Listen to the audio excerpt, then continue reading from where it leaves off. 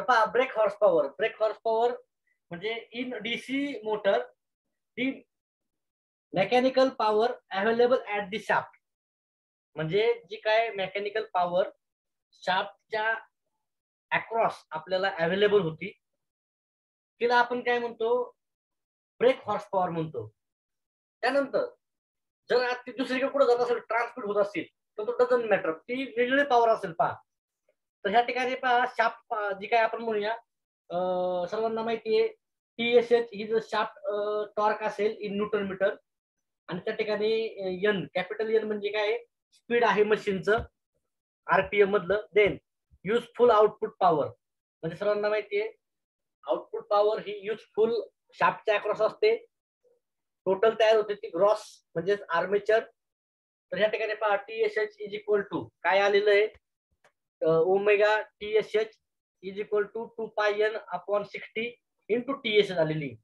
म्हणजेच ही in terms of power काढलेली पहा आपण. कारण का? ब्रेक हॉर्स पॉवर काढतोय आपण. म्हणजे पॉवर काय असेल की मल्टिप्लाय बाय टॉर्क असेल. आणि ही याचं युनिट पहा काय येईल? वॅट येईल. ठीक आहे? आता आउटपुट इन बीएसपी म्हणजे हे सिम्प्लिफाय केल्यानंतर तुम्हाला sir two pi N upon sixteen म्हणजे ही ओमेगाची व्हॅल्यू आहे. इन टू टी एस ही शाप टॉर्कची व्हॅल्यू आहे.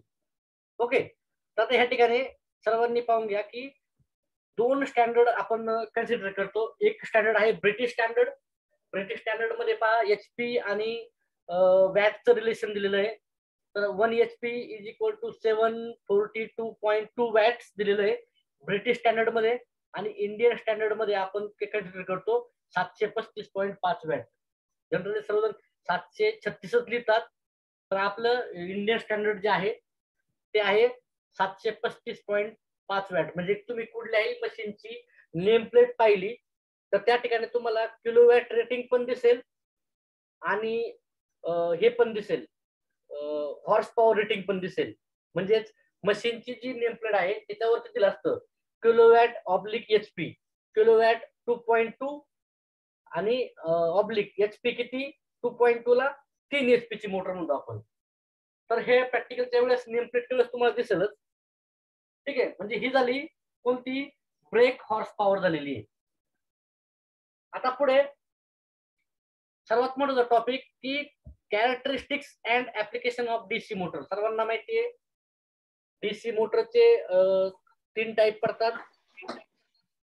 पहिला टाईप आहे डीसी शंट मोटर दुसरा टाईप आहे डीसी सिरीज मोटर आणि तिसरा आहे कंपाऊंड कंपाऊंडमध्ये पण दोन लॉंग शर्ट आणि शॉर्ट शंट ठीक आहे? तर सर्वांनी पहिल्यांदा आपण डीसी शंट मोटरची पाहूया. डीसी शंट मोटरची डायग्राम सर्वांनी पाहून घ्या. ही आहे आर्मीचर वाइंडिंग ए ए ए किंवा याला तुम्ही म्हणू शकता ए वन ए टू सुद्धा म्हणू शकता तुम्ही. त्यानंतर पुढली डायग्राम आहे एफ वन किंवा एफ वन एफ टू किंवा एफ डबल एफ आणि ही आहे सप्लाय साईड डीसी मोटरचा सप्लाय हा डीसीचा असणार आहे. लक्षात घ्या. तर या ठिकाणी बायपोलर पोलॅरिटी दिलेली आहे प्लस आणि मायनस सप्लाय व्होल्टेज आपण व्ही अप्लाय करतोय. ठीक आहे? सप्लाय करून जो करंट येतोय टोटल करंट काय असतो? आय आता ह्या ठिकाणी पहा ह्या पॉइंटला म्हणजे ह्या जंक्शनला म्हणजे आपण म्हणतो ज्या ठिकाणी दोन किंवा दोन पेक्षा जास्त ब्रँच एकत्र येतात त्याला आपण जंक्शन किंवा नोड म्हणतो. तर म्हणजे ह्या नोड पॉइंटला काय होतंय की करंट डिवाइड झालाय. फील्ड वाइंडिंग का जाणारा करंट काय असेल? आय एफ आणि आर्मेचर का जाणारा करंट काय असेल? आय ए म्हणजेच आय ए हा आर्मेचरचा करंट आहे. आय एफ और आय एस एच म्हणजेच हा फील्ड वाइंडिंगचा म्हणजे शंट वाइंडिंगचा करंट आहे. आता ह्या ठिकाणी पहा नावामध्येच आहे डीसी शंट मोटर म्हणजेच आर्मेचर आणि फील्ड कसे दोन्ही पण एकमेकांना प्यारलेले आहेत. बरोबर? तर ह्या ठिकाणी सर्वांनी एक गोष्ट लक्षात घ्यायची की सपोज सप्लायकडून जर आय ची व्हॅल्यू जर नऊ एम दहा एम्पियर असेल टोटल करंट किती असेल? दहा एम्पियर तर तो इक्वली डिस्ट्रीब्युट होत नाही. कारण का? या ठिकाणी वाइंडिंगची प्रॉपर्टी एक्झिबिट होते. पहिली प्रॉपर्टी आर्मेचर हा हायली इंडक्टिव्ह असतो आणि फील्ड हा हायली रेजिस्टिव्ह असतो. म्हणजे फील्डचे जे काय कंडक्टर आहेत त्याचा डायमीटर जास्त असतो. आणि त्याच्या नंबर ऑफ टर्न्स कमी असतात. ठीक आहे? म्हणजे त्याचा नंबर ऑफ टर्न जास्त असतात. म्हणजे ह्या ठिकाणी काय होतंय की आर्मी फील्ड फील्ड हा हायली रेजिस्टिव्ह आहे. म्हणजे ह्या दहा अँपियर पैकी म्हणजे आय जर दहा अँपियर असेल तर एक अँपियर जर फील्डकडे गेला तर त्याचा नाईन्टी पर्सेंट कुठे जातो? आर्मेचरकडे जातो. कारण सर्वांना माहिती आहे आर्मेचरलाच काय करायचंय? टॉर्क तयार करायचंय. आणि त्या ठिकाणी करंट हा जास्त प्रमाणात काय हवाय? युटिलाइज झालेला हवाय म्हणून त्या ठिकाणी आर्मेचर हा जास्त करंट कंझ्युम करतोय. लक्षात घ्या. की फील्ड आणि आर्मेचर याच्यामध्ये दोन्ही सेम करंट कधीच कंझ्युम करत नाही. फील्ड हा हायली रेजिस्टिव्ह आहे. त्यामुळे त्याचा नंबर ऑफ टर्न जास्त आहे. त्याचा डायमीटर पण त्याचा जास्त असतो. ठीक आहे? आणि आर्मेचर हा हायली इंडक्टिव्ह आहे. त्यामुळे तो जास्त करंट कंझ्युम करतोय. मेकॅनिकल पॉवर डेव्हलप करायचं काम हा आर्मेचर करतोय. त्यामुळे आर्मेचर मध्येच जास्त करंट कंझ्युम होतोय. सर्वांना माहिती आहे voltage equation and current relationship तर व्होल्टेज इक्वेशन सर्वांना माहिती आहे की आपण जे व्होल्टेज अप्लाय केलं सर्वांनी पाहून घ्या. लेफ्ट साईडला व्होल्टेज आपण अप्लाय केलंय. ते काय होईल? एकतर याच्यामध्ये आर्मेचरमध्ये बॅक एम एफ तयार होईल पहिली गोष्ट. प्लस आर्मेचरमध्ये काय होईल? I A R A drop आपण जर बघितलं फील्डला आपला करंट कमी जातोय. तर जास्त करंट कुठे जातोय? आर्मेचरकडे म्हणजे त्या ठिकाणी आर्मेचरचा जो काय ड्रॉप आहे I A R A drop आपण हा सुद्धा केलेला आहे. ओके हे झालं काय झालं? व्होल्टेज इक्वेशन झालं. आता करंट इक्वेशन म्हणजे टोटल करंट काय आहे? आय हा कुठं कुठं जातोय? I A plus I S H किंवा I A plus I F म्हणजे हे झालं करंट इक्वेशन आता इक्वेशन याच्यावर व्होल्टेज इक्वेशन वरून काय आलंय? जो काय आपण म्हणूया back EMF equation back EMF equation आपल्याला काय मिळालंय? E B is equal to V minus I A R A म्हणजेच या ठिकाणी पहा सर्वांना लक्ष द्या. की जो काय आय एस एच आहे म्हणजेच कोणता? फील्ड वाइंडिंगचा करंट म्हणजेच आय एफ पॅरल सर्किटमध्ये हा काय असतो? ओम स्लॉनुसार आपण काढतो. म्हणजे supply voltage divide by winding resistance तर इथं सप्लाय व्होल्टेज कोणतं आहे? V divide by winding resistance किती आहे? आर एस एच किंवा आर एफ म्हणजे पहा V upon R S H same armature वाइंडिंगचा current कसं काढणार आपण?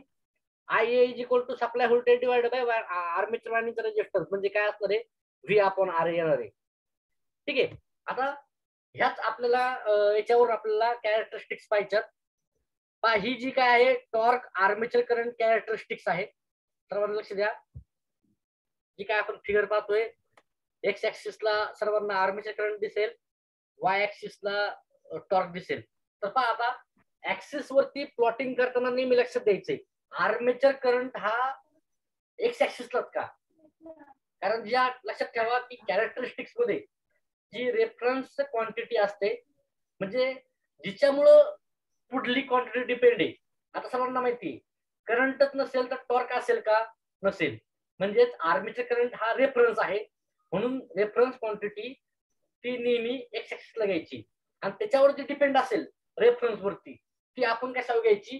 वाय ऍक्सेस घ्यायची. म्हणजे आपण टॉर्क कॅरेक्टरिस्टिक पाहतोय टॉर्क आणि आर्मीचर करंट याच्यामध्ये आर्मीचर करंट ही रेफरन्स कॅरेक्टरिस्टिक आहे म्हणजे रेफरन्स आहे आणि टॉर्क त्याच्यावर डिपेंडंट आहे. सर्वांना माहिती आहे आपण जे टॉर्क इक्वेशन बघितलं टॉर्क इक्वेशनमध्ये सर्वांनी पहा जर बघितलं तर टॉर्क डायरेक्टली पोहोचतो to phi into I A लक्ष द्या. आपण जे टॉर्क इक्वेशन बघितलं सर्वांना मी तेच सांगतो याच्या आता कॅरेक्टरिस्टिक्स संपूर्ण टॉर्क इक्वेशन डिपेंड आहे. आपण बघितलं तर काय आहे torque equation? One upon two pi. I Z I A ब्रॅकेटमध्ये P upon A तर कुठल्याही मशीनसाठी काय काय कॉन्स्टंट असतं? पी ए आणि झेड हे कॉन्स्टंट असतात. म्हणजे त्या मशीन मध्ये number of poles number of armature current आणि नंबर ऑफ पॅरल पाथ म्हणजे ए हे नेहमी कॉन्स्टंट असतात. म्हणजे टॉर्क डायरेक्टली पोहोचतो टू फाय इंटू आय आपण हे पण बघितलं होतं पहा. मी परत दाखवतोय ते. इथं या ठिकाणी. सर्वांना दिसत असेल कुठल्याही for a particular machine Z P आणि A being fix and constant म्हणजे हे काही चेंज होत नाही. प्रत्येक मशीन डिझाईन झाली तिला ह्या व्हॅल्यू कॉन्स्टंट म्हणजे फिक्स असतात. म्हणजे जे काय टॉर्क इक्वेशन आहे याच्यामध्ये व्हेरिएबल क्वांटिटी कोणती आहे? फ्लक्स आणि आर्मेचर करंट म्हणजे torque directly proportional to flux into armature current. तर याच्यावरतीच आपण पाहतोय आपण कॅरेक्टरिस्टिक्स पाहतोय टॉर्क वर्सेस आर्मेचर करंट. म्हणजे जर आर्मेचर करंट वाढला तर टॉर्क काय होणार आहे? बाय डिफॉल्ट वाढणार आहे. म्हणजे ही कॅरेक्टरिस्टिक्स आपल्याला लिनियर नेचरची मिळेल. म्हणजे पहा आर्मेचर करंट जसा जसा वाढतोय तस तसा काय होतोय? टॉर्क सुद्धा काय होतोय? इन्क्रीज होत चाललेला आहे. म्हणजेच जो टॉर्क आपण पाहतोय जो आपण म्हणूया की टॉर्क सुद्धा काय होतोय की त्या प्रपोशनमध्ये काय होतोय वाढत चाललेलं आहे.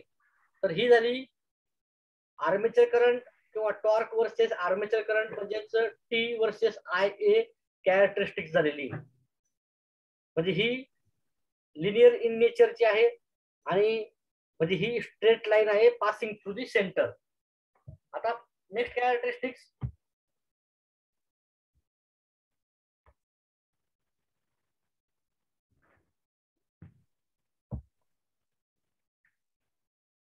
नेक्स्ट कॅरेक्टरिस्टिक्स आहे आर्मेचर करंट वर्सेस स्पीड किंवा स्पीड वर्सेस आर्मेचर करंट आता याच्यामध्ये लक्षात घ्या की कुठलीही मोटर रोटेट होते तर त्यासाठी टॉर्क लागतो आणि हा टॉर्क कशामधून येतो या ठिकाणी आपल्याला माहिती आहे की आर्मेचर करंटपासून येतोय आर्मेचरचा आर्मेचर जर फिरला तर स्पीड आहे.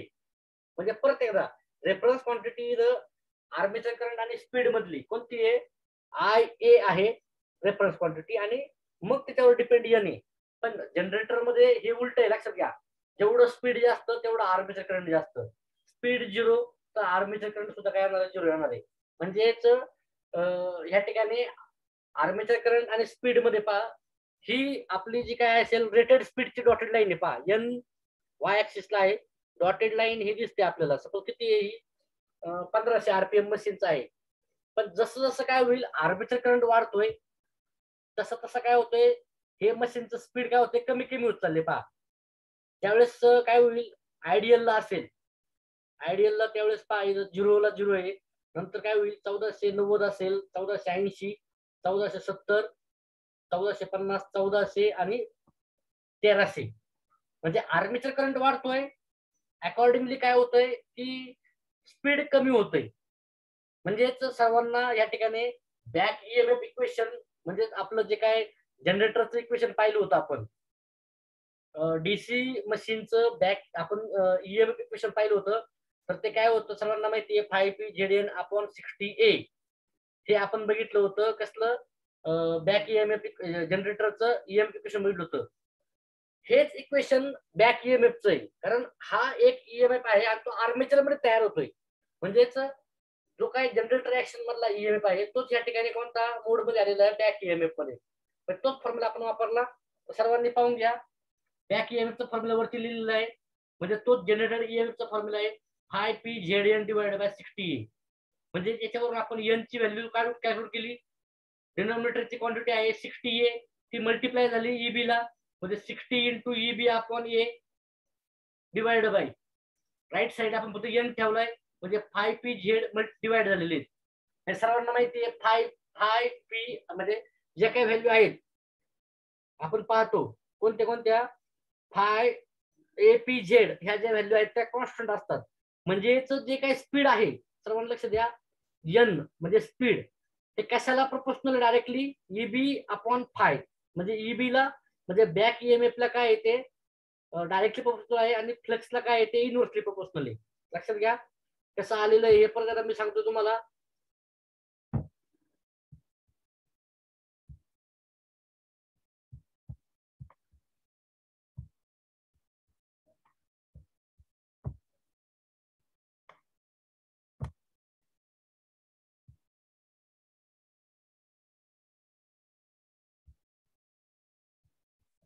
तर पहा सर्वांनी पाहून घ्या जो काही आपला जो काही ई आहे जनरेटर इजी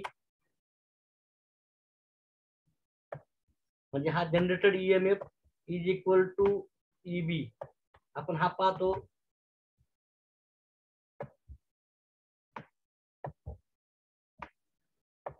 हाच मशीन मध्ये बॅक ईएमएफ म्हणजे काउंटर ईएमएफ आपण बघितला होता तयार होतो. आणि हा काय असतो नेहमी? त्याचा फॉर्म्युला आपण बघितला होता. काय होता फॉर्म्युला फाय पी म्हणजे number of machine pole phi म्हणजे काय? फ्लक्स टोटल फ्लक्स झेड म्हणजे टोटल नंबर ऑफ आर्मेचरचे काय? कंडक्टर एन एन म्हणजे काय? RPM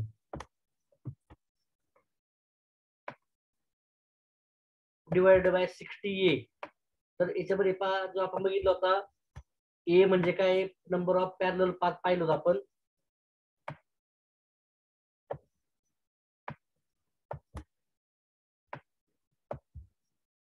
तर आता आपल्याला आपण मोटर ऍक्शन पाहतोय म्हणजे आपल्याला फक्त एवढंच कनेक्ट करायचं पाहिजे एवढंच. आता याच्यावर आपल्याला काढायची यांची व्हॅल्यू काढायची पहा.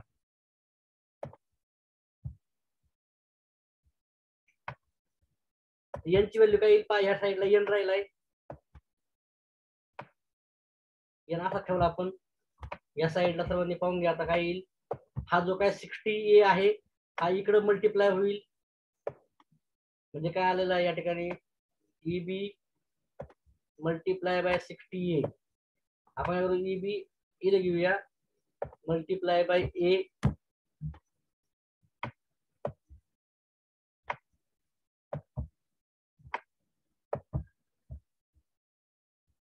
ठीक आहे? आणि सिक्स्टी आपण घेऊया.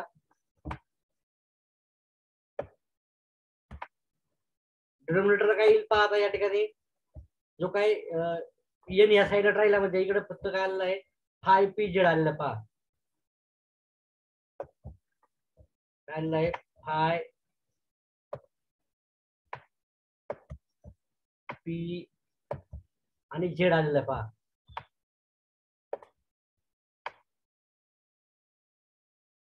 सर्वांना माहिती आहे की ह्या ठिकाणी पहा जो काय पोल आहे मशीनचे पोल हे प्रत्येक इन्स्टंटला कॉन्स्टंट राहतात. त्यानंतर जो काय आपण म्हणूया number of armature conductor Z हा पण नेहमी कॉन्स्टंट असतात. आणि तिसरा जो आहे ए हा काय ए की हा पण नंबर ऑफ पॅरल कॉन्स्टंट असतात. हा सिक्स्टी काय नंबर आहे? त्यामुळे जो काय आपण म्हणूया या ठिकाणी असं घेतलं आपण एन डायरेक्टली प्रोपोर्शनल टू काय आलेलं आहे? ईबी अपॉन फाय आलेलं आहे. ईबी अपॉन फाय आलेलं आहे पहा या ठिकाणी. आता याच्यामध्ये लक्ष लक्षात घ्यायची एक गोष्ट. सर्वात महत्वाची आहे तर ईबी ईबी म्हणजे हा बॅक ईएमएफ एफ आहे ही आर्मेचरची क्वांटिटी आहे.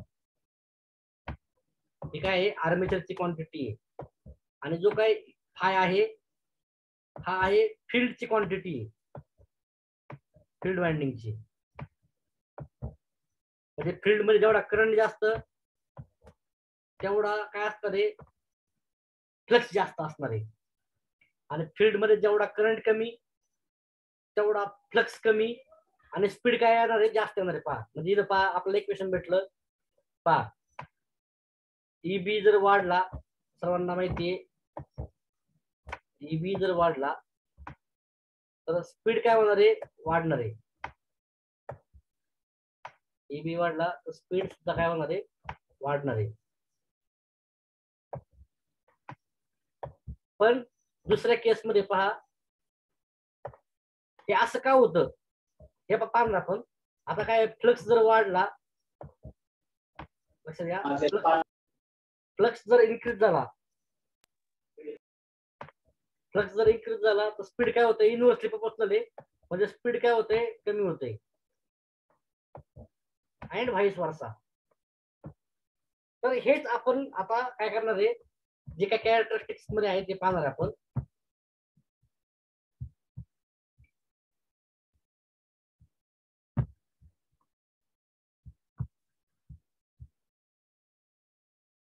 तर पहा या ठिकाणी आपण हेच बघितलं N directly proportional to E B आपण फाय बघितलं. ओके म्हणजेच सर्वांना माहिती आहे एन डायरेक्टली टू ईबी पण ईबी ची व्हॅल्यू काय बघितली आपण? V minus I A R A म्हणजे काय होतंय? ज्यावेळेस ईबी वाढतोय बरोबर? तर त्यावेळेस जो काय आपण म्हणूया आय ए आर ए बा या ठिकाणी. As I A increases I A R A drop increases म्हणजे ज्यावेळेस ईबी वाढतोय तर I A R A drop वाढतोय. म्हणजेच काय होतंय की या ठिकाणी हेन्स ईबी म्हणजे बॅक एम डिक्रीज होतोय. म्हणजे आर्मेचर करंट ज्यावेळेस वाढेल लक्ष द्या हा आर्मेचर करंट ज्यावेळेस वाढतोय तर त्यावेळेस काय होतंय? I A R A drop वाढतोय. हा I A R A drop वाढला तर बॅक एम काय होतोय? कमी होतोय. म्हणजे पाहिजे या ठिकाणी पहा. जसं जसं काय होईल आर्मेचर करंट वाढतोय तस तसा हा काय I A R A drop आहे. म्हणजेच आर्मेचरचा ड्रॉप आहे. हा सुद्धा काय होतो या ठिकाणी आपल्याला इन्क्रीज झालेला दिसून आलेला आहे. म्हणजेच त्या ठिकाणी काय झालेलं आहे? स्पीड काय झालंय? कमी झालेलं आहे. सर्वांना माहितीये ईबी काय झालंय? कमी झालंय. आर्मीचर करंट वाढलाय लक्ष द्या. आर्मीचर करंट वाढल्यानंतर काय झालंय? I A R A drop काय झालाय? वाढलाय. I A R A drop वाढलाय म्हणजे ईबी काय झालाय? कमी झालाय. ईबी कमी झालाय म्हणजे स्पीड काय झालंय? हे पण स्पीड कमी झालेली आहे पा हे रिलेशन आहे याच्यामध्ये. सर्वांनी समजून घ्या. परत सांगतोय. आय ए म्हणजे आर्मीचर करंट वाढला तर सर्वांना माहिती आहे बॅक एम कमी होतोय. का कमी होतोय? तर त्या ठिकाणी बॅक एम चे क्वेश्चन सर्वांना माहिती आहे. Voltage equation V is equal to E B plus I A R A E B is equal to V minus I A R A जर आर्मेचर करंट वाढला तर आय ए आर ए वाढणार आहे. I A R ए वाढला ही quantity काय होणार आहे? Minus होणार आहे. म्हणजे ईबी काय होणार आहे? कमी होणार आहे. ईबी कमी झाली म्हणजे काय होणार आहे? या ठिकाणी जे काय स्पीड आहे मशीनचं ते पण कमी होणार आहे. म्हणजे इथं पहा स्पीड कमी कमी होत चालले म्हणजे जसं जसं आपण आर्मीचे करंट वाढूया तसा तसा I A R A drop काय होते हा वाढलेला पाहायला मिळतो आपल्याला. ठीक आहे? आता तिसरी सर्वांनी आपण बघितलं होतं तिसरी कॅरेक्टरिस्टिक्स टॉर्क आणि स्पीड सर्वांना माहिती आहे टॉर्क डायरेक्टली पोहोचतो to flux into I A सर्वांनी आता टॉर्क इक्वेशन बघितलं होतं. आणि दुसरी क्वांटिटी आपण आता बघितली आहे N is equal to E B आपण फाय म्हणजे इक्वेशन वन आणि टू म्हणजे टॉर्क आणि स्पीडचे आहे. तर याच्यामध्ये from equation two equation two मध्ये सर्वांनी पाहून घ्या. आर्मेचर करंट वाढला समजून घ्या. टॉर्क वरती स्पीड डिपेंड लक्षात घ्या. आता या ठिकाणी.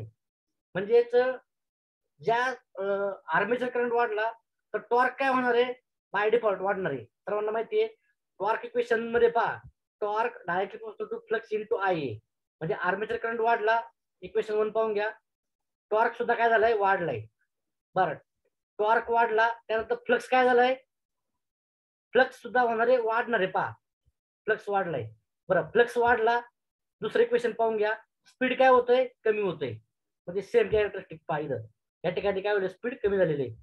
परत पाहून घ्या इक्वेशन वन टॉर्क इक्वेशन आहे. T direct directly to phi into I A दुसरं equation N direct to E B upon phi म्हणजे इक्वेशन पहा सर्वांनी आर्मेचर करंट वाढला. म्हणजे आय ए इक्वेशन वन कसा आय ए वाढला म्हणजे आर्मीचा करंट वाढला म्हणजे टॉर्क काय होणार आहे? वाढणार आहे पहा. टॉर्क वाढलाय. बरं पहिलं इक्वेशन टॉर्क वाढला म्हणजे फ्लक्स काय होणार आहे? फ्लक्स पण वाढणार आहे फील्ड वाइंडिंगचा बरं फ्लक्स वाढला इक्वेशन टू काय सांगते इक्वेशन टू फ्लक्स जर वाढला युनिव्हर्सली प्रपोजल काय सांगा स्पीडली फ्लक्स जर वाढला तर स्पीड काय होते? कमी होते. म्हणजे पहा हे जे काय आहे जसं जसं टॉर्क वाढत वाढत जाईल तसं तसं काय होईल?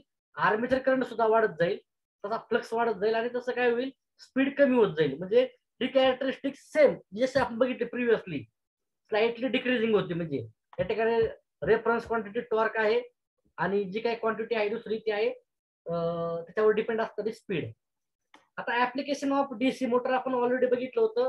तर कुठंतरी डीसी मोटर ही कॉन्स्टंट स्पीड मोटर म्हणून कन्सिडर केली जाते.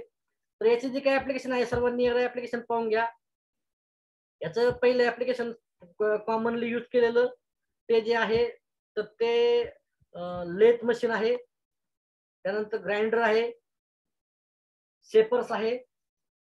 त्यानंतर प्लेनर्स कुठली सीट प्लेन करण्यासाठी मिलिंग मशीन त्यानंतर metal metal cutting machine wood working machine fan blower compressor conveyor vacuum cleaner centrifugal pumps reciprocating pumps म्हणजे ही अशी त्याची काही सिलेक्टेड ऍप्लिकेशन आहेत कसली? डीसी शंट मोटरची कारण ही आपण कॉन्स्टंट स्पीड मोटर म्हणून कन्सिडर करतो. तर जनरली याच्यातले कुठले पण पाच एमसीक्यू टाईप जर विचारले तर विचारू शकतात का? याच्यापैकी कुठले ऍप्लिकेशन डीसी शंट मोटरचं आहे? तर कुठले पण तुम्हाला चार दिले जातं ऑप्शन त्याच्यापैकी तुम्हाला प्रॉपरली सिलेक्ट करायचं ठीक आहे? लेक्चर झाल्यानंतर सर्वांनी अटेंडन्स भरून टाका. अटेंडन्स खूप कमी आहे. आज एका अटेंडन्स घ्या बरं एकदा. आणि मीटिंग एंड करून टाकू आपण आज. ठीक आहे? थांबू आपण आज या ठिकाणी. डाऊट वगैरे असतील अटेंडन्स फार कमी हा. मी परत सांगतोय. प्रत्येकाला सांगतोय मी का फॉर्म भरायला तुम्हाला ज्यावेळेस यायचंय त्यावेळेस प्रत्येकाने काळजी घ्यावी. आपला अटेंडन्स सेव्हन्टी फाईव्ह पर्सेंटच्या अभाव असावा आणि तो पण गुगल फॉर्ममध्ये तुम्ही वेळोवेळी भरलेला असावा. ठीक आहे? तेव्हा आपण